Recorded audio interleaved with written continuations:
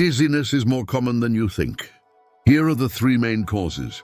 One, inner ear and balance problems. One of the most common causes of dizziness is a problem in the inner ear, where our balance system is found. When tiny crystals shift out of place, you may suddenly feel like the room is spinning. This often happens with head movements and makes it hard to keep your balance. If it repeats, an ear, nose and throat doctor can usually fix it with simple maneuvers.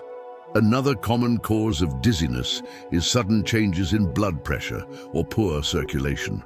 Standing up too quickly, dehydration or low blood sugar can make you feel faint or lightheaded. Drinking enough fluids, rising slowly and checking your blood pressure regularly can reduce these episodes. But if you often feel like you might collapse, it's important to see a doctor. Sometimes dizziness is a warning sign of a more serious condition. Heart rhythm problems, neurological issues, or even side effects of certain medicines can trigger it. If chest pain, shortness of breath, double vision, or sudden weakness occur with dizziness, seek urgent medical care.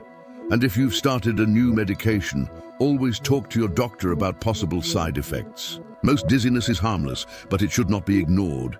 If it happens often or comes with chest pain, shortness of breath, or sudden weakness, seek medical advice right away. Thank you for watching. Stay healthy and don't forget to subscribe for more videos.